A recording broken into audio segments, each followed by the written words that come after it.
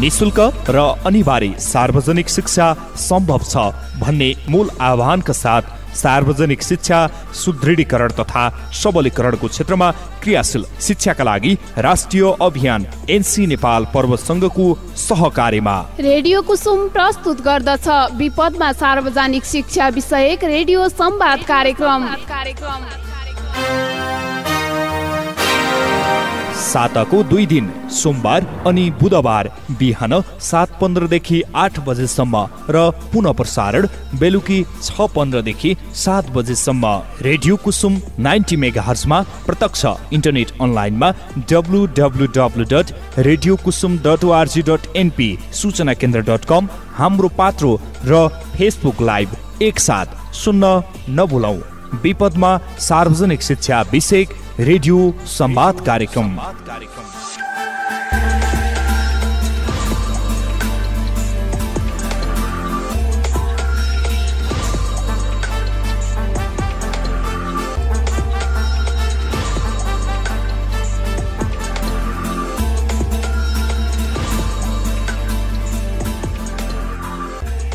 नमस्कार शिक्षाका लागि राष्ट्रिय अभियान नेपाल एनसी नेपाल पर्वत सङ्घको हातेमालोमा सामुदायिक रेडियो कुसुम नाइन्टी मेगा हर्सबाट सञ्चालन हुने विपदमा सार्वजनिक शिक्षा विषयक रेडियो संवाद श्रृङ्खलाको पर्खाइम बस्ने यहाँहरू सबैलाई स्वागत गर्न चाहन्छु। प्रविधिका मित्र विकास राज पौडेलसँगै आवाजबाट म कृष्ण अखेली कोभिड नाइन्टिन अर्थात् कोरोना भाइरसको महामारीको संक्रमण फैलिरहेको सन्दर्भमा नेपाल सरकारले गरेको लकडाउन अहिले हटिसकेको छ। तर लकडाउन त हट्यो लामो दूरीका सवारी साधनहरू पनि निर्वाध रूपमा चल्न सकिरहेको अवस्था छैन। जस्तो उडानहरू पनि हुन सकिरहेको अवस्था छैन। सँगसँगै हामी बहस गर्दै आइरहेको शिक्षा क्षेत्र। शिक्षा क्षेत्र पनि विद्यार्थीहरू लकडाउन खुल्यो अब विद्यालय जाउँ भनेर जान सक्ने अवस्था छैन। यो समयमा हामी निरन्तर शिक्षाका लागि राष्ट्रिय अभियान नेपाल एनसी नेपाल पर्वत सङ्घको हातेमालोमा विपदमा सार्वजनिक शिक्षा विषयक शैक्षिक बहस सञ्चालन गरेका छौँ र सरकारवाला निकाय जिम्मेवार व्यक्ति स्थानीय तह प्रमुखहरूसँग पनि हामी कार्यक्रममा बहस गर्दै आइरहेका छौँ। यो कार्यक्रम साताको दुई दिन सोमबार बुधबार बिहान सभा सातदेखि आठ बजेसम्म र पुनः प्रसारण बेलुकी सभा छदेखि सात बजेसम्म सुन्दै आइरहनु भएको छ। श्रोता मित्र आजको लागि भने बहसमा हामी स्टुडियोमा निम्ताएका छौँ। शिवालय बहुमुखी क्याम्पसका व्यवस्थापन समितिका पूर्व अध्यक्ष र नेपाल कम्युनिस्ट पार्टी नेकपाका युवा नेता अस्पताल व्यवस्थापन समिति पर्वतका अध्यक्ष गोविन्द पहाडीज्यूलाई हामी छलफलको लागि स्टुडियोमा निम्ताएका छौँ। अबको यो बाँकी समय गोविन्द पहाडीज्यूसँग हामी छलफल बहस र संवादमा जुट्नेछौँ आउनुहोस् उहाँलाई कार्यक्रममा स्वागत गरौँ। गोविन्द सर स्वागत छ यहाँलाई रेडियो कुसुमको यो कार्यक्रममा। हस् धन्यवाद कृष्णजी। यो यो समय कसरी बिताउँदै हुनुहुन्छ? खासमा अघि तपाईँले भन्नुभयो जस्तै अब यो यति बेला कोरोना भाइरस कोभिड नाइन्टिनको जुन समस्यामा हामी अहिले जुधिरहेका छौँ र त्यो विशेष गरेर यो समस्याबाट पर्वत जिल्लालाई कसरी मुक्त गर्न सकिन्छ र पर्वत जिल्ला आम पर्वत जिल्लावासीहरूलाई कोरोना भाइरसबाट कसरी जोगाउन सकिन्छ भन्ने विषयमा विशेष गरेर म पर्वत अस्पताल व्यवस्थापन समितिको अध्यक्षको रूपमा क्रियाशील भएको कारणले बेसी मैले समय अहिले पर्वत जिल्ला अस्पताललाई दिइरहेको छु। हजुर। जस्तो अन्य क्षेत्र पनि प्रभावित भइरहेको छ उद्योग धन्दा कल कारखाना अन्य होटल व्यवसायहरू गर्नलाई पनि मर्का छ। सबैभन्दा बढी हामी यो कार्यक्रममा शिक्षाको क्षेत्रमा अलिक बहस गर्ने भाव हुनाले शिक्षा क्षेत्र पनि नराम्रोसँग कोभिड नाइन्टिनले प्रभावित भइरहेको अवस्था छ। पर्वत जिल्लामा यसको यसले पारेको प्रभाव कसरी बुझ्नु भएको छ यहाँले? होइन अब तपाईँहरूको यो रेडियो कुसुम मार्फत मैले यो शैक्षिक बहसको श्रृङ्खला मैले निरन्तर सुनि पनि राखेको छु। अब वास्तवमा जसरी कोरोना भाइरसले अरू आम संसारभरिको सबै जीवनसँग जोडिएको सबै विषयवस्तुहरूमा यसले प्रभाव पारेको छ हामी कोही पनि यसबाट अछुत छैनौँ। र त्यसमा पनि शिक्षा क्षेत्रलाई अझ बढी नै प्रभाव पारिरहेको छ भन्ने मैले ठानेको छु किनभने हाम्रा कलिला बालबालिकाहरू भाइ बहिनीहरू जो विद्यालय जानबाट वञ्चित छन् कलेज लेभलसम्मका परीक्षाहरू दिन बाट वञ्चित छन् र एउटा जुन रेगुलर एउटा लर्निङको रेगुलर एउटा एजुकेसनको जुन प्रोसेस थियो त्यो अवरुद्ध भएको अवस्था छ। र यसले वास्तवमा आज मात्रै होइन आजको यो शैक्षिक गतिविधिमा हाम्रो जुन शिक्षा प्रणालीमा यसले प्रभाव पारेको छ यसले मलाई लाग्छ अबको दशकौँसम्म पनि यसको प्रभाव चाहिँ हामीले भोग्नुपर्छ होला। मलाई यस्तो लाग्छ। अब तपाईँ हिजो मात्रै यो जुन कोरोना नियन्त्रणको लागि भनेर पालिका प्रमुखहरू लगायत अन्य यससँग सरकार व्यक्तिहरूसँग सिसिएमसीको बैठक पनि हाइकमान्डको बैठक पनि बसिरहेको छ र हिजो मात्रै पनि यो बैठक सम्पन्न भएको छ। तपाईँ त्यसमा सहभागी हुनुहुन्छ। के छ तपाईँहरूको बैठकमा यो शिक्षा क्षेत्रको बारेमा कतिको आवाज उठिरहेको छ? यो नराम्रोसँग प्रभावित भएको समयमा के छलफल भइरहेको छ त्यहाँ? खास अब हिजो भएको यो सिसिएमसीको विशेष गरेर विपद व्यवस्थापनसँग सम्बन्धित बैठक थियो। प्रमुख जिल्ला अधिकारीको अध्यक्षतामा हुने समितिको। त्यसमा मूलत हामी कोरोनाबाट कसरी पर्वत जिल्लालाई जोगाउन सकिन्छ र यो लकडाउन खुकुलो भएसँगै कोरोना चाहिँ समुदायमा सङ्क्रमित हुने हो कि सङ्क्रमण हुने हो कि भन्ने ढङ्गको एउटा त्रास छ।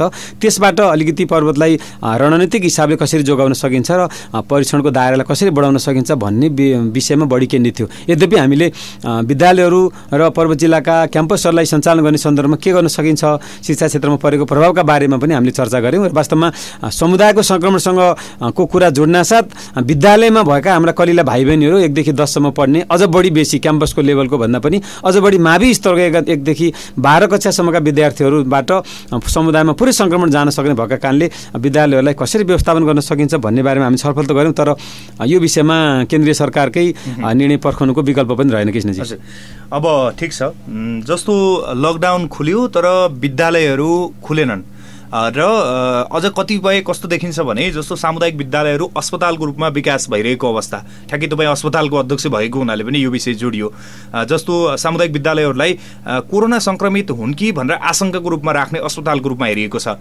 र बालबालिकाहरू घरमा छन्। घर छेउको सामुदायिक विद्यालयमा डरलाग्दो रोगका बिरामीहरू बसेका हुन् कि भन्ने त्यो मानसिक रूपमा बालबालिकाको बाल मनोविज्ञान त्यो अवस्था पनि छ। यसलाई हेरेर कसरी लिनु भएको छ? सामुदायिक विद्यालयहरू अस्पताल भइरहँदा। एकदमै महत्त्वपूर्ण कुरा उठाउनु भयो वास्तवमा। यो असाध्यै महत्त्वपूर्ण र असाध्यै संवेदनशील विषय तपाईँले उठाउनु भएको छ। म यो बारेमा चाहिँ यो कार्यक्रम मार्फत सबैजनालाई म जानकारी गराउन चाहन्छु। वास्तवमा के रह्यो भने कोरोना भाइरसको कारणले हामी जब नेपाल लकडाउनमा पस्यो प्रवेश गर्यो लकडाउनमा प्रवेश गरिसके पछाडि अनुमानित सङ्क्रमणको अनुमान भएकाहरू ज्वरो आउनेहरूलाई र पछाडि पछिल्लो दिनमा गएर भारतबाट घर फर्किन चाहनेहरू जुन आफ्नो आफ्नो जिल्लामा आउन थाल्नुभयो हाम्रो दाजुभाइ दिदीबहिनीहरू नै हो बाहिरको कोही पनि हुनुहुन्न। उहाँहरूलाई राख्ने केही समय क्वारेन्टाइनमा राख्ने त्यस पछाडि पिसिआर परीक्षण गरिसके पछाडि त्यसको परिणामका आधारमा उहाँहरूलाई घर पठाउने या आइसोलेसनमा पठाउने यो दुईवटा मेकानिजममा हामीले काम गर्नुपर्ने थियो।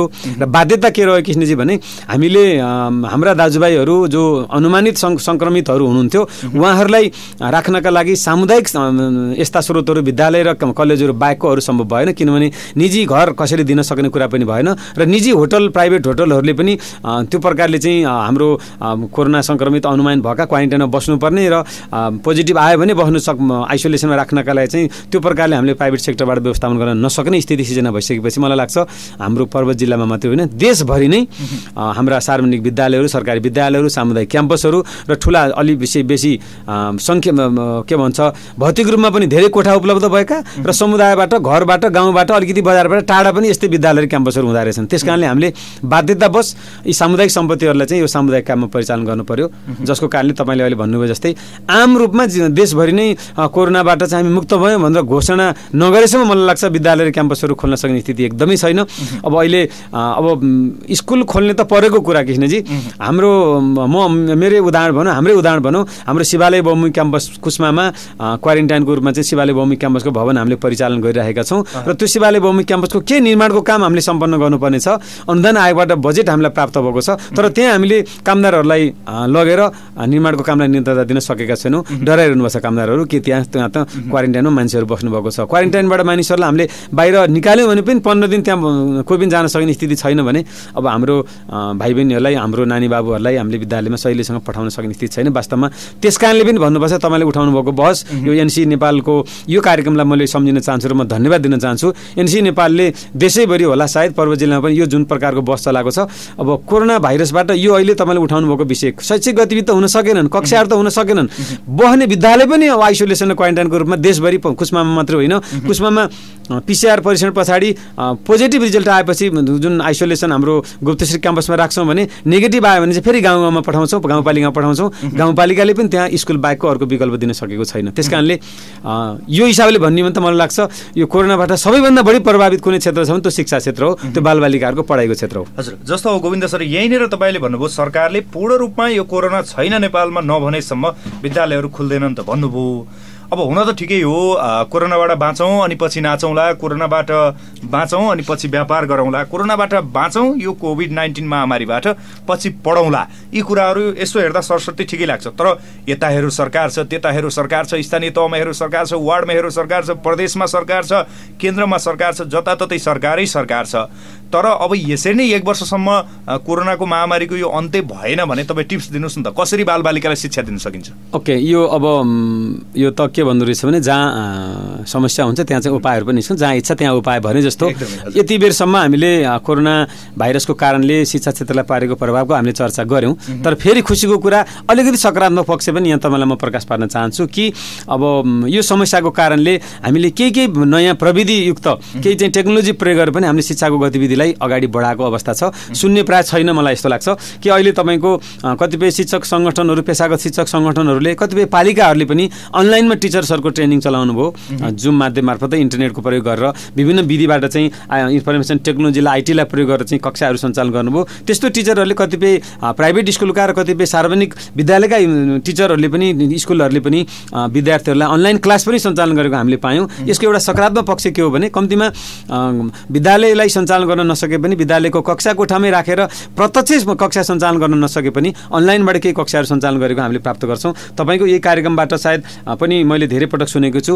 एकोर्याब देशभरि भएका सामुदायिक सामुदायिक रेडियोहरूको छाता सङ्गठन एकोर्याबसँग सहकार्य गरेर विभिन्न सङ्गठनहरूले टिभीबाट रेडियोबाट चाहिँ कक्षाहरू ट्युसन कक्षाहरू बालबालिकाहरूलाई घरै बसेर पढ्ने व्यवस्था पनि गरेका छन्। यद्यपि त्यो वान वे रह्यो। यद्यपि त्यसमा विद्यार्थीले इन्ट्रेक्सन गर्न सकेनन् आफ्ना प्रश्नहरू राख्न सक्ने स्थिति थिएन आफ्नो जिज्ञासाहरू राख्न सके सकेनन् नबुझेको कुरा सोध्न सकेनन् होला।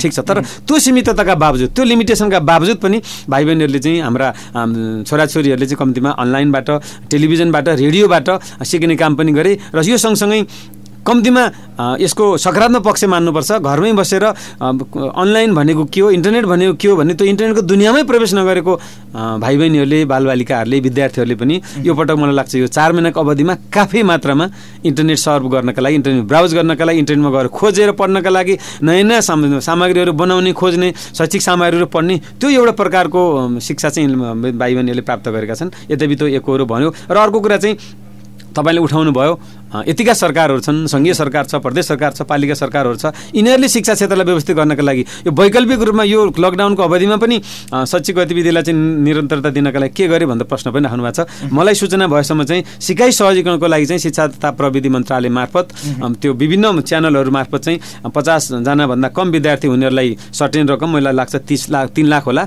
र पचासभन्दा बढी विद्यार्थी भएकाहरूलाई चाहिँ चालिस लाख चार लाखको दरले चाहिँ सामग्रीहरू वितरण गर्ने सिकाइ सहजीकरणका लागि चाहिँ पाठ्य सामग्रीहरू तयार गर्ने त्यसलाई वितरण गर्ने परिपाटीको लागि चाहिँ सरकारले सहयोग गरिरहेको छ। र कतिपय गाउँपालिका नगरपालिकाहरूले पनि यो वैकल्पिक शिक्षाको लागि चाहिँ काम गरिरहेको चाहिँ हामीले चाहिँ सूचना प्राप्त गरेका छौँ। र विशेष गरेर अब यसमा चाहिँ कस्तो रह्यो भने गाउँपालिका र नगरपालिकाहरू आफै स्वायत्त सरकार भएका कारणले आफ्नै मोडालिटीमा आफ्नो पालिकाभित्र शैक्षिक गतिविधि सञ्चालन गर्न पनि सकिने अवस्था छ। र मैले सुनेको थिएँ कतिपय मिडियाहरू मार्फत मैले प्राप्त गरेको चाहिँ रोल नम्बरका आधारमा।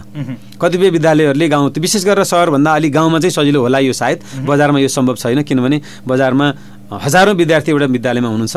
हजारौँ विद्यार्थी हजारौँ घरको आउँदा हजारौँ विद्यार्थी चाहिँ सायद देशभरिको संसारभरिको सबै देशमा परिवारको एट्याचमेन्ट हुनसक्छ। मैले थाहा पाएको कतिपय गाउँमा चाहिँ जस्तै एक रोल नम्बर तिन नम्बर पाँच रोल नम्बर हुने बिजोरहरूलाई एक दिन र जोरहरूलाई एक दिन राख्ने र पढाउने र कतिपय ठाउँमा चाहिँ टोल शिक्षणको रूपमा चाहिँ घर घरमा पुगेर शिक्षक साथीहरूले होमवर्क दिने होमवर्कको परीक्षण गर्ने यो प्रकारको एउटा प्रयास पनि भइराखेको छ। यद्यपि फेरि दोहोऱ्याएर भन्नुपर्छ जसरी विद्यालयमा कक्षा कोठामै हुने जस्तो अध्यापन त पक्कै हुन सकेको छैन। त्यस्तो सिकाइ पक्कै हुन सकेको छैन। पनि हामी विकल्पको खोजी चाहिँ गर्दैछौँ जस्तो लाग्छ। यो एनसी नेपालको यो गतिविधिले पनि मलाई लाग्छ।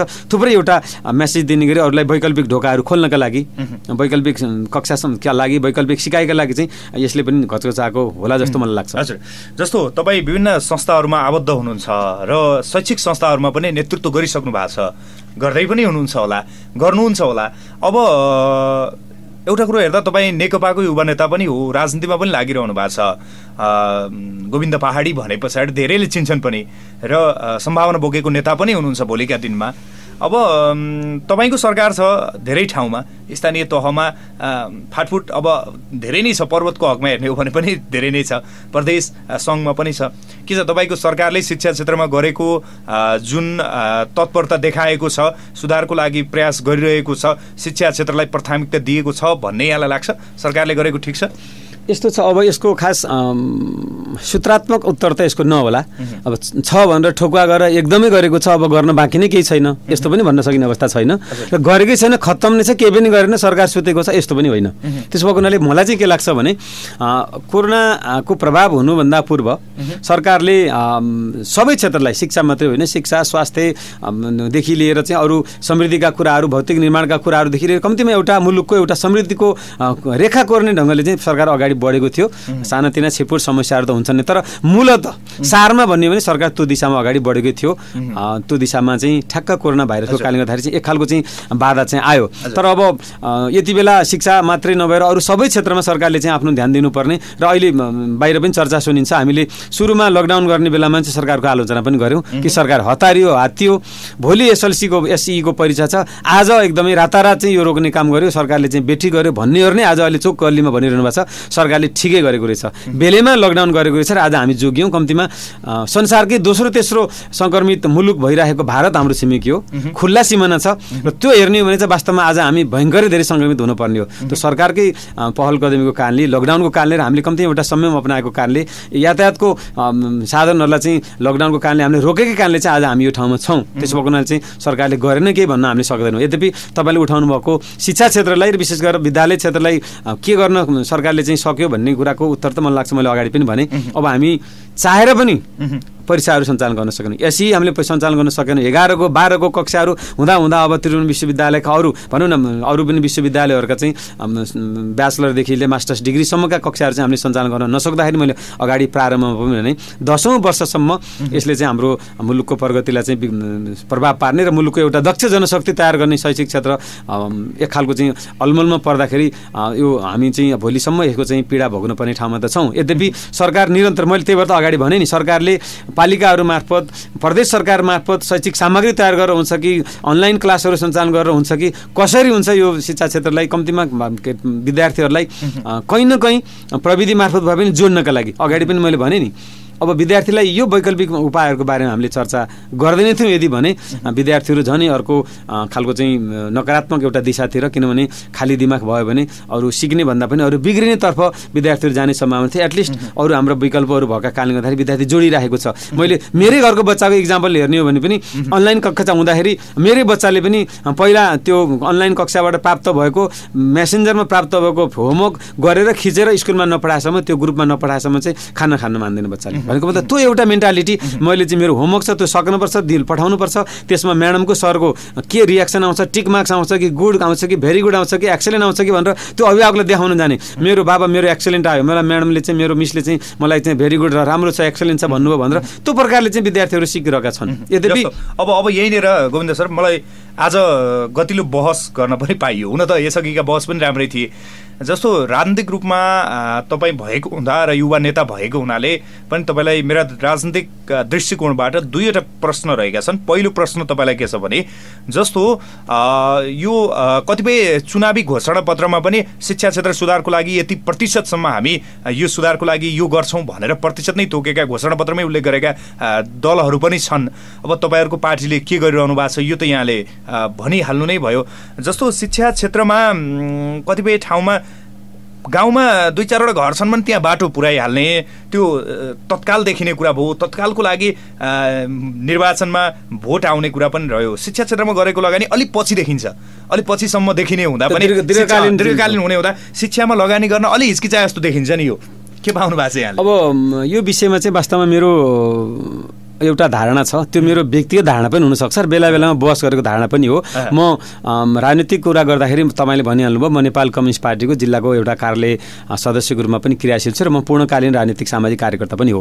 र मैले धेरै ठाउँमा जाँदाखेरि नागरिकहरूका विकासका मागहरू अपेक्षाहरू गुनासाहरू बाटो सब पुगेन सिँचाइका लागि खुलो पुगेन धारा पुगेन बिजुलीका लागि हाम्रो पोल छैन हाम्रो मोबाइलले राम्रोसँग टिपेन हामीलाई टावर छैन हाम्रो विद्यार्थी विद्यार्थी टाढा जानु पर्यो हाम्रो छेउमा विद्यालय भएन। यो सबै समग्रमा समग्रतामा चाहिँ यसको गुनासोहरूको एउटै समाधान मेरो व्यक्ति धारणा पनि हुनसक्छ। मैले धेरै पटक यो बहसहरूमा भन्ने गरेको छु। म यो मौका पाएँ मैले। यहाँ पनि म कुरा राख्न चाहन्छु। वास्तवमा नेपाल जस्तो भौगोलिक रूपमा जुन विकटता हाम्रो भूगोलमा छ हाम्रो एउटा डाँडामा दुई घर अर्को डाँडामा पाँच घर अर्को डाँडामा दस घर जुन प्रकारले चाहिँ हाम्रा छरिएका बस्तीहरू छन् भूगोलको विकटता छ यसको सारमा समृद्धिको यात्रा समृद्धिको यात्रा भनेर हामीले भनिरहेका छौँ। समाजवादमा हामीले पुऱ्याउने भनिरहेका छौँ। तर मलाई लाग्छ मैले भनिहालेँ म दोहोऱ्याएर पनि भन्न भन्न चाहन्छु मेरो यो व्यक्तिगत विचार पनि हुनसक्छ। जबसम्म नेपाललाई हामीले एकीकृत आवास योजना जबसम्म एकीकृत बस्तीको मोडालिटीमा लान सक्दैनौँ सबै सम्भावित भएका घरहरूलाई एकै ठाउँमा राख्ने एउटै विद्यालय एउटै कलेज एउटै खानेपानी एउटै टावर बिजुलीको एउटै विद्युतको मोड परियोजना एउटै सिँचाइको कुलो यो प्रकारले व्यवस्थापन गर्न नसक्ने हो भने कृष्णजी मलाई लाग्छ हामीले युरोपको समृद्धिको जुन सपना देखेका छौँ युरोपको समृद्धि हामीले जुन देखेर आएका छौँ विदेशको त्यो लेभलको समृद्धि र विकास हामीले प्राप्त गर्न सक्दैनौँ। जबसम्म हामीले एकीकृत गर्दैन। किनभने नेपालको विकासको खर्च बढी छ। किन? तपाईँले अघि नै भन्नुभयो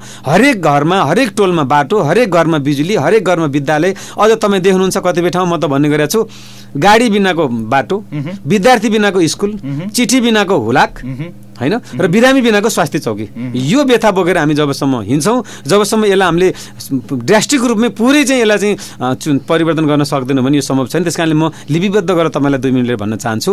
हामी हरेक वार्ड वार्डमा स्वास्थ्य चौकी होइन? एउटा क्लस्टरमा एउटा बस्ती बसाउँ र क्लस्टरमा एउटा सुविधा सम्पन्न अस्पताल बनाऊ जसको कारणले त्यहाँ बिरामीको फल होस्। तपाईँ हेर्नुहोस् अहिले कुनै पनि स्वास्थ्य चौकीमा बिरामीको सङ्ख्या धेरै छैन। तर हाम्रो त्यो सरकारी नियमअनुसार हरेक ठाउँमा स्वास्थ्य चौकी छ। त्यस्तै जस्तो एउटा वार्डमा आजको तपाईँको पालिकाको वार्डमा हेर्नुभयो भने एउटा वार्डमा हिजोको साबीको नौवटा वार्ड हुन्थे गाविसको। त्यो नौवटा वार्डमा पनि मलाई लाग्छ एउटा वार्डमा एउटा त कम्तीमा पनि स्कुल छ। अब भन्नुहोस् विद्यार्थी थोरै टिचर्सहरूको सङ्ख्या धेरै अनि विद्यार्थी बिनाको टिचर अनि टिचरलाई पनि धेरै विद्यार्थी हुँदाखेरि मेहनत गर्नलाई एउटा प्रेरित गर्थ्यो होला उसलाई पनि उत्साह हुन्थ्यो होला अनि अहिले हामीले कम्पिटेन्ट अलिक क्षमतावान टिचरहरू राख्न सक्थ्यौँ होला। त्यस कारणले संसारको तपाईँको अरू मुलुकमा हेर्नुभयो भने सबभन्दा बढी राम्रो स्यालेरी सबभन्दा राम्रो तलब र पारिश्रमिक शिक्षकको हुन्छ। किनभने शिक्षक राम्रो भयो भने उसले राम्रो पढाउँछ र नयाँ उत्पादन हुने नागरिकहरू पनि राम्रो र दक्ष जन्मिन्छन्। खास मोडालिटी यो मुलुक बनाउने। हाम्रोमा ठिक विपरीत।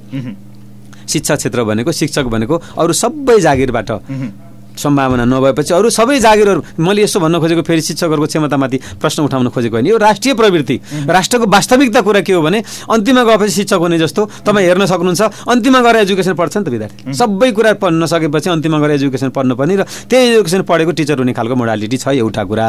दोस्रो कुरा चाहिँ मैले अगाडि नै भने त्यस कारणले म त चाहन्छु भन् मेरो बुझाइमा मेरो कुरा भन्ने हो भने त एकीकृत बस्ती बनाउने र विद्यालयहरू चाहिँ सुविधा सम्पन्न विद्यालय एक ठाउँ भने त्यहाँ राम्रो तालिम प्राप्त शिक्षक राख्ने र एउटै एउटै खालको चाहिँ मोडालिटीमा चाहिँ एकीकृत खालको शिक्षा प्रणाली हामीले अवलम्बन गर्न नसक्ने भने अहिले पनि दसजना विद्यार्थी बिसजना विद्यार्थीको हामीले बोकेर हिँडिरहेका छौँ र चर्चा गरिरहेका छौँ एकदम गुणस्तरीय शिक्षा एकदम क्षमतावान टिचर यो सम्भवै छैन। त्यस कारणले जस्तो तपाईँ अब नेकपाको नेता हुनुहुन्छ तपाईँ व्यक्तिगत रूपमा यो तपाईँसँग नहोला तर तपाईँको पार्टीको पनि यो कमजोरी छ कि कङ्ग्रेस अन्य पार्टीको पनि छ कि कस्तो छ भने विद्यालय व्यवस्थापन समिति गठन हुने क्रममा राजनीतिक दलहरूको हस्तक्षेप हुने त्यहाँ पनि विवाद हुने यो एउटा समस्या। अर्को समस्या अभिभावक विद्यार्थी र विद्यालयको हितको लागि राम्रोसँग पढाइरहेको शिक्षकलाई हुम्ला जुम्ला पठाइदिने अनि राजनीतिक आडमा त्यस्ता शिक्षकहरू सरुवा गरेर यता ल्याउने अनि त्यो शिक्षकले दिउँसो यसो पढाए चाहिँ गरेर बिहान बेलुकी पार्टीको राजनीति धा धानिदिने त्यो अवस्था पनि समुदायमा देखिन्छ सामुदायिक विद्यालयहरूमा। यो त तपाईँहरूको पनि कमजोरी छ भन्छन् नि हो। तपाईँहरू यस्तो गर्नुहुन्छ र? अब एकदमै यो कुरा वास्तवमा आजको दिनमा यो छैन। अब म तपाईँलाई प्रष्टसँगले भन्न चाहन्छु विगतमा यस्तै थियो। कर्मचारी सङ्गठनमा पनि राजनीति हुन्थ्यो शिक्षक सङ्गठनहरू मार्फत राजनीति हुन्थ्यो। तपाईँ हेर्नुहोस् योभन्दा अगाडिका सरकारहरूले कसले यो कुरा आँट्यो। यही सरकार हो जसले अहिले बहस भइरहेको छ कर्मचारीहरू यो सायद कोरोना भाइरसको कारणले यो लकडाउनको कारणले उहाँहरू आन्दोलित हुन सक्नु हुनुभएको छैन। कर्मचारी आन्दोलित हुनुहुन्छ। त्यसको कारण के हो भने यो सरकारले नियामती सेवा ऐनमा प्रस्ताव गरेको छ कि अब राजनीतिक खालका चाहिँ ट्रेड युनियनहरू भङ्ग गर्ने। र एउटा आधिकारिक ट्रेड युनियन मात्रै बनाउने ढङ्गले चाहिँ अगाडि बढेको छ। त्यसको विरुद्धमा हाम्रो कर्मचारी साथीहरू हुन्छ यसका आफ्ना आफ्नै पाटा छन् त्यसको बारेमा भोलि चर्चा गर्नु होला मात्रै मैले भने यो सरकार कर्मचारी र शिक्षकहरूलाई राजनीतिबाट चाहिँ मुक्त गर्नुपर्छ। त्यसो गर्न सकिएन भने न निजामती प्रशासन न त शिक्षा क्षेत्र चाहिँ सुरक्षित हुन्छ र गुणस्तरीय हुन्छ भन्नेमा छ। अर्को कुरा शिक्षाको पनि तपाईँले प्रस्तावित ऐनमा हेर्नुभयो होला। हाम्रो मन्त्री अहिलेको मन्त्री गिरिराज मणि पोखले पटक पटक भन्नुभएको छ अब शिक्षकहरूलाई कुनै पनि पार्टीको सदस्य हुनेबाट वञ्चित गरिनेछ। अब कुनै पनि शिक्षा पार्टीको सङ्गठनमा बस्ने कुरा त के? सदस्यता भएको प्राप्त भयो भने उसलाई कारवाही हुन्छ भनेर प्रस्ताव गरेको छ। यही सरकार हो। यही नेकपाको सरकार हो। यही केपी ओलीको नेतृत्वको सरकार हो जसले शिक्षक र कर्मचारीहरूलाई राजनीतिबाट मुक्त गर्न खोज्दैछ। मैले भन्नु खोजेको कुरा के भने यो कोसिस हो। तर हाम्रोमा समस्या के छ? हाम्रो अघि नै तपाईँले भन्नुभयो यो कोसिस सरकारले राम्रो नियत राखेर असल नियतका साथ यो प्रस्ताव गरिरहेको छ। तर यसका पक्षमा हामी भन्दा हामी कुरा गर्छौँ तर कोही पनि तयार छैन कि अब शिक्षकहरू सायद आन्दोलनमा चाहिँ यसपाल चाहिँ फरक मात्र राख्नु छ। कर्मचारीले फरक मात्र राखिसक्नु भएको छ। यो हामी गरिब यसै गरी भएका रहेछौँ हामी हरेक कुरामा राजनीतिक आँखाले हेर्छौँ हरेक कुरामा चाहिँ यो र त्योको रूपमा चाहिँ विवाहित हुन्छ जसको प्रति फल्न त आज हामी गरी भएका छौँ। अब अहिले मात्रै हामी बिस्तारै अब एउटा उकालो लाग्ने एउटा मध्यम आय भएको मुलुकको रूपमा एउटा डाटाले त बतायो तर हामी चाहिँ बिस्तारै अब उकालो लाग्ने बाटोमा थियौँ। लकडाउनले डिस्टर्ब गरेको अवस्था छ। तर म भन्न चाहन्छु नेकपा प्रष्ट छ कि शिक्षा क्षेत्रलाई अब राजनीतिबाट मुक्त गर्नुपर्छ निजामती प्रशासनलाई अब राजनीतिबाट मुक्त गर्नुपर्छ र उहाँहरूलाई साँच्चीकै गुणस्तरीय काममा चाहिँ लगाउनुपर्छ भन्ने कुरामा चाहिँ हामी प्रष्ट छौँ। त्यो अहिलेको सरकारले राखेका दुईवटा ऐन तपाईँले हेर्नुभयो शिक्षा ऐन र चाहिँ निजामती सेवा ऐन हेर्नुभयो भने यसबाट प्रष्ट हुन्छ। जस्तो तपाईँले शिक्षा मन्त्री गिरिराज बढी पोखरेलज्यूको प्रशंसा गरिरहँदा राज्यको पनि यो विभेदकारी नीति हो कि जस्तो देखियो? बिचमा तपाईँले हेर्नुभयो सामुदायिक विद्यालयहरू क्वारेन्टाइन बन्ने निजी विद्यालयहरूलाई अनलाइन कक्षा चलाऊ भनेर अनुमति दिने यी यस्ता कुराहरू पनि आइरहेका थिए नि। यसलाई कसरी बुझ्नुभयो यो एउटा एउटा बहसको विषय बन्यो। मैले अगाडि पनि भनेको थिएँ क्वारेन्टाइनमा त क्लियर नै छ। किनभने सरकारले अब चाहेको भए सरकारले चाहँदा त निजी विद्यालयहरूलाई पनि क्वारेन्टाइनको रूपमा बनाउन सक्थ्यो सरकारको इच्छा शक्ति हुँदा त्यो नहुने होइन। तर कुरा के रह्यो भने एक एक त सार्वजनिक विद्यालयहरू उपलब्ध भएको अवस्था रह्यो। र मेजर कुरा चाहिँ के होला जस्तो मलाई लाग्छ भने पर्वत जिल्लामा हेर्नुभयो भने पनि टाढा जानु पर्दैन। सायद देशैभरिको चित्र त्यस्तै होला कि पर्वत जिल्लामा पनि निजी विद्यालयहरूलाई बनाउन सकिन्थ्यो। यसको कारण के हो भने भौगोलिक रूपमा तिनको अवस्थिति हेर्दाखेरि के देखियो भने निजी विद्यालयहरू प्रायः सहरको बिचमा वरिपरि घरको बजारको बिचमा भएको हुने र सामुदायिक विद्यालयहरू चाहिँ अलिक खुल्ला चौरमा हिजोदेखि नै सार्वजनिक जग्गा खोज्दाखेरि अलि आइसोलेटेड ठाउँमा भएको कारणले गर्दाखेरि अब हामी समुदायलाई कोरोना भाइरसबाट जोगाउन खोजिरहेका छौँ। फेरि निजी विद्यालयलाई पनि क्वारेन्टाइन बनाउनुपर्छ भनेर सैद्धान्तिक रूपमा मात्रै भनिरहँदा व्यावहारिक रूपमा वरिपरि भएको त्यो समुदायलाई कोरोना सङ्क्रमणको खतरा हुने भएका कारणले गर्दाखेरि पनि त्यो यो खालको चाहिँ परिस्थिति चाहिँ सिर्जना भएको हो। अब जहाँसम्म अनलाइनको कुरा गर्दाखेरि सरकारले सार्वजनिक विद्यालयहरूलाई अनलाइन कक्षा सञ्चालन गर्न पाउँदैन भनेको थिएन। अब त्यो उहिले यो एउटा इच्छा शक्तिको कुरा पनि हो र पर्वत जिल्लामा हेऱ्यो भने शिवालय माविले टिचर्सहरूलाई ट्रेनिङ पनि सञ्चालन गर्यो अनलाइनबाट। एउटा अभ्यास नयाँ अभ्यास सुरु गरेको थियो। लामो पन्ध्र दिनको सायद ट्रेनिङ सञ्चालन गर्यो। हाम्रै शिवालय माविले यहाँ सुरु गरेको थियो। त्यस कारणले अब यो कतिपय कुरा चाहिँ आफ्नो इच्छा शक्तिमा पनि भर पर्ने कुरा हो। खर्च नलाग्ने कम खर्चमा गर्न सकिने शिक्षकहरूलाई ट्रेनिङ गर्न सकिने विद्यार्थीहरूलाई अनलाइन कक्षा सञ्चालन गर्ने कुरालाई सरकारले अनुमति दिइरहनु पर्ने खालको स्थिति पनि थियो जस्तो मलाई लाग्दैन। अब यहीँनिर जस्तो कतिपय गोविन्द सर तपाईँले यो भोग्नु भएको छ र देख्नु पनि भएको छ। यहाँबाट बसाइ सर र मधेस जाने मुगलिन तर चितवनतिर छिर्ने।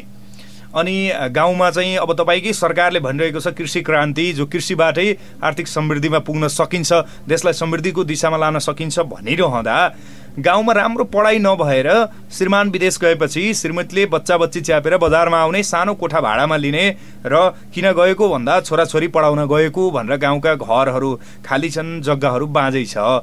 यस्तो स्थिति छ। अब गाउँमा भएको सामुदायिक विद्यालयलाई सुधार गर्नको लागि हुन त यहाँले अगाडि पनि भन्नुभएको छ। यो अवस्था जुन चाहिँ पढाउनकै लागि बजार झर्नुपर्ने मधेसतिर जानुपर्ने अवस्था गाउँ रित्तिने अवस्था भोलि तपाईँहरूका भोटरहरू पनि तितर बितर हुने अवस्था यो अवस्थाको अन्त्य गर्नको लागि के गर्नुपर्छ जस्तो लाग्छ? एकदमै यो अब यो असाध्यै महत्त्वपूर्ण र वास्तवमा पीडादायक विषय हो।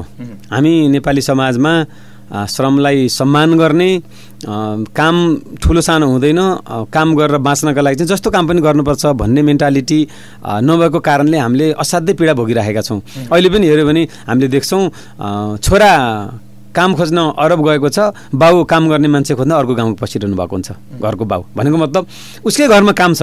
उस बाबा चाहिँ काम गर्ने मान्छे खोज्न गाउँ डुल्नु पर्ने र छोरा चाहिँ काम खोज्न अरब जानुपर्ने स्थिति छ। यसको कारण के हो भने हामीले स्थानीय कामलाई महत्त्व दिएनौँ। हाम्रो एउटा सामाजिक मर्यादामा यो कुराको व्याख्या यसो ढङ्गले गरियो कि आफ्नो स्थानीय तहमा गरिने सानातिना कामहरू गर्न मान्छे तयार भएन बरु ऊ भोकै बस्न तयार भयो। बरु ऊ असाध्य अप्ठ्यारा जटिल कामहरू गर्न विदेश पलायन हुन ऊ तयार भयो। तर यहीँ बसेर आफ्नो गाउँठाउँको चाहिँ जस्तो सामान्यदेखि सामान्य काम गर्न पनि तयार भएन। यो परिस्थितिले गर्दा तपाईँले भनेको अवस्था सिर्जना भएको छ।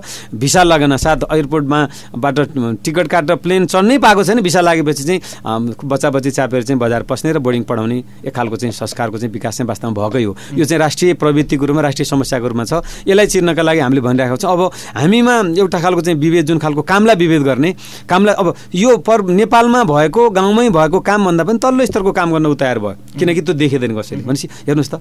हाम्रो समाजमा यो कस्तो प्रकारको युग हो कस्तो खालको चाहिँ अब मर्यादामाको यो चाहिँ प्रश्न हो यो क्लेस हो वर्गीय क्लेस हो थाहा छैन। हामीमा त्यो प्रकारको युगको कसले ल्याइदियो हो? अचम्म हामी कस्तो सामाजिक संस्कारबाट हुर्केर यहाँसम्म आइपुग्यौँ? त्यसो भएको हुनाले यो श्रमलाई सम्मान गर्ने स्थिति चाहिँ हामीले बनाउन सकेका छैनौँ। कृषिलाई कृषिमा काम गरेर चाहिँ उपलब्धि हासिल गरेका पनि थुप्रै घटनाक्रमहरू हामी देखेका छौँ। तर पछिल्लो दिनमा बिस्तारै विदेशबाट फर्केर पनि कृषि कर्ममा लाग्ने टन्नेलहरू चाहिँ व्यवस्थापन गर्ने ठुलो मात्रामा चाहिँ कृषि र पशुको फर्महरू गर्ने परिपाटी विकास भएको छ। तर यसलाई हामीले एउटा बाँच्ने जीवन पद्धतिसँग जोड्न सकेका छैनौँ। यसलाई एउटा अझै पनि हामीले संस्कारको रूप दिन सकेका छैनौँ। अब अचम्मको कुरा के छ भने कृषि र पशुपालन हामी कृषि प्रधान देशका मान्छे। कृषकको छोरा भनेर हामी फर्म भर्न पऱ्यो कहीँ भने कृषक भनेर कृषि पेसा भनेर लेख्ने मान्छेहरू।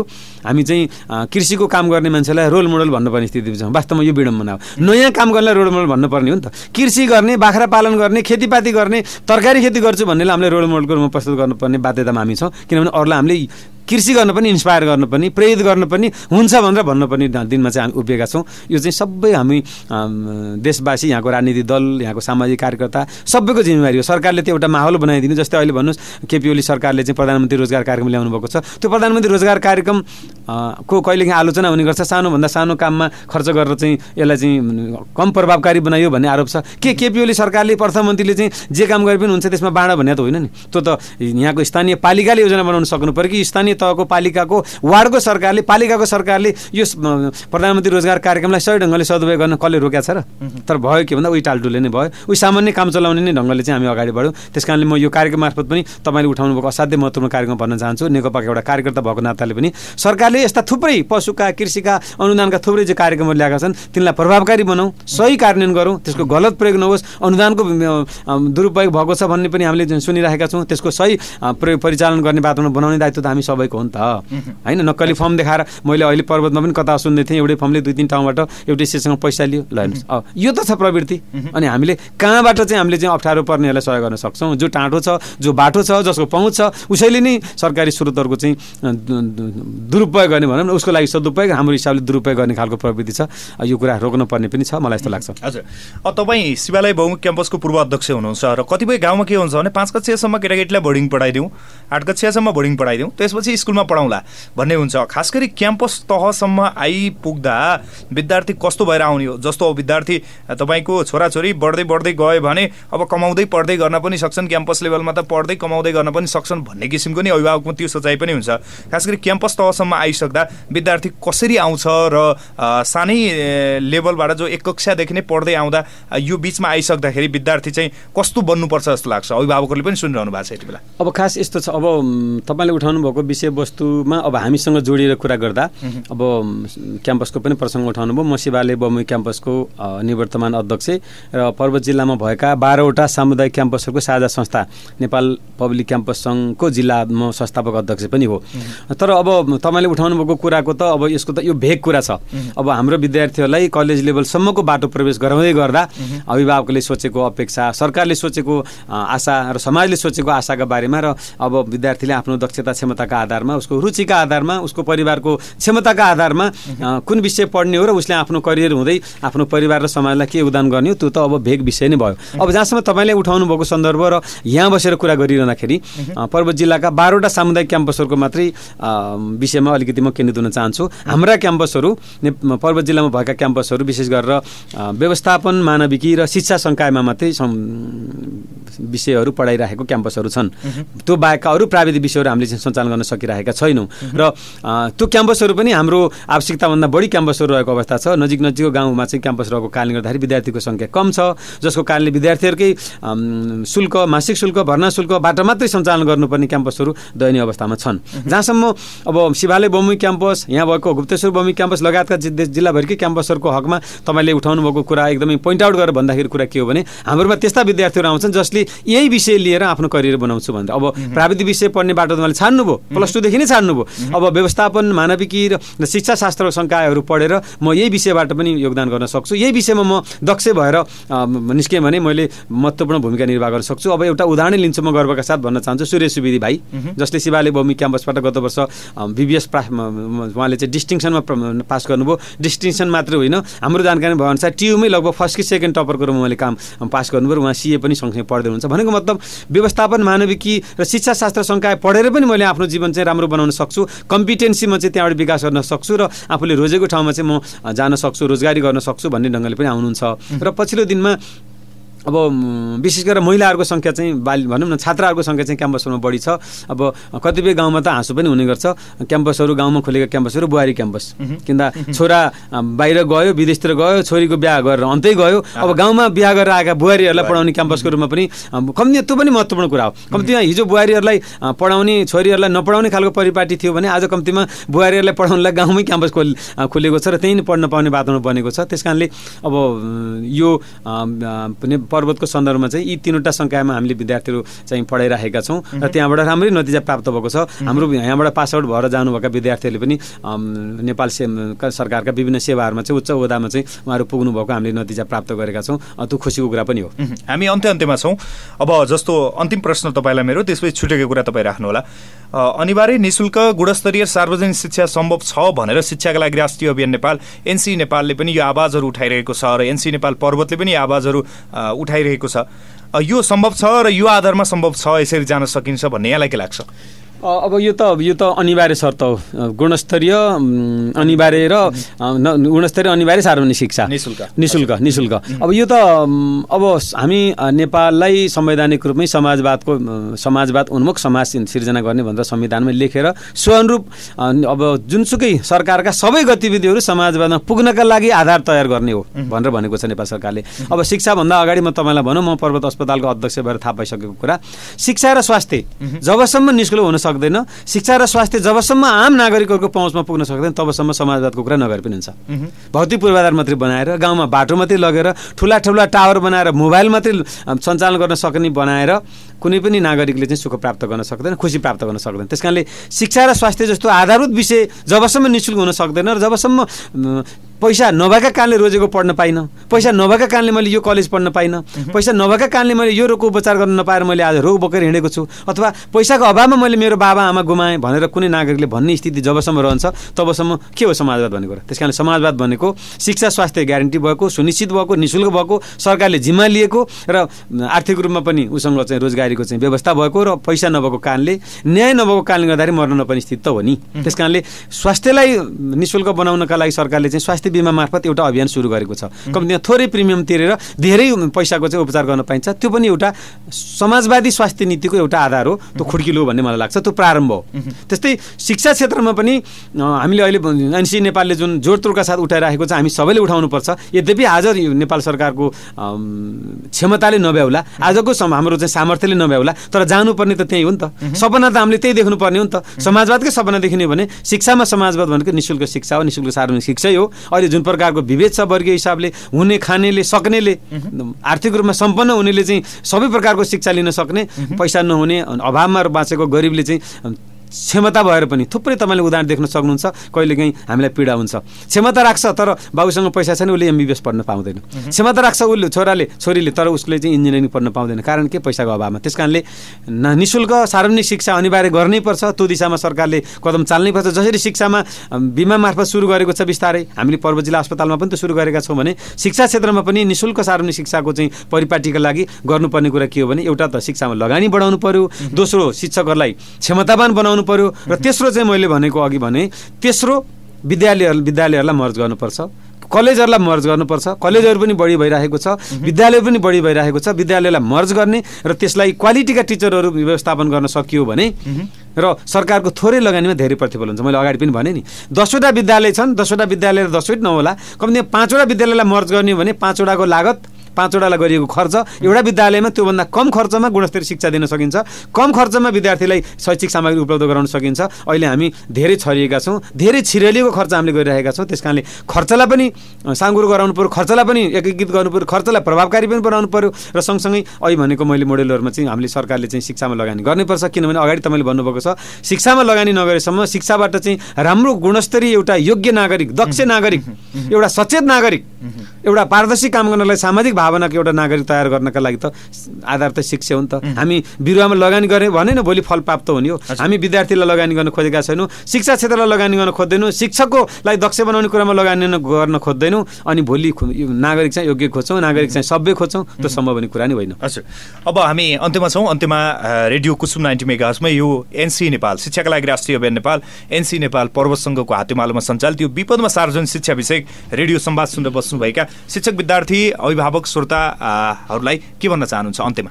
धन्यवाद कृष्णजी म वास्तवमा एनसी नेपालले जुन प्रकारको बस यो विपदमा सार्वजनिक शिक्षा नाम दिएर एउटा टाइटल राखेर जुन प्रकारले विभिन्न क्षेत्रका शिक्षासँग जोडिएका समुदायसँग जोडिएका महानुभावहरूलाई राखेर जुन प्रकारको बस सञ्चालन गरिरहनु भएको छ वास्तवमा यो असाध्यै राम्रो लागिरहेको छ मैले सुनि पनि राखेको छु।